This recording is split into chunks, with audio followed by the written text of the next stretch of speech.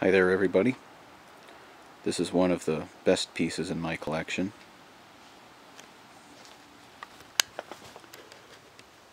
It's a 1927 standard Devoro.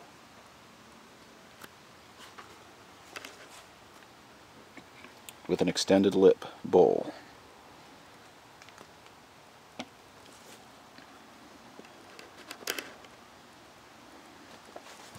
And a 1920s vintage seat.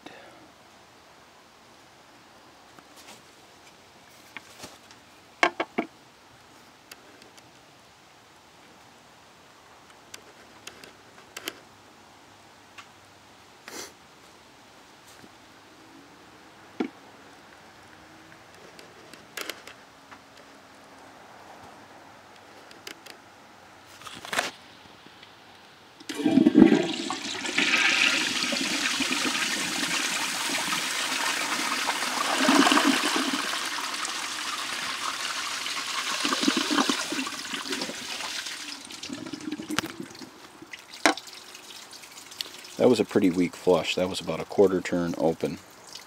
And this is probably one of the quietest flushometer toilets that I have. We'll open it just a little more.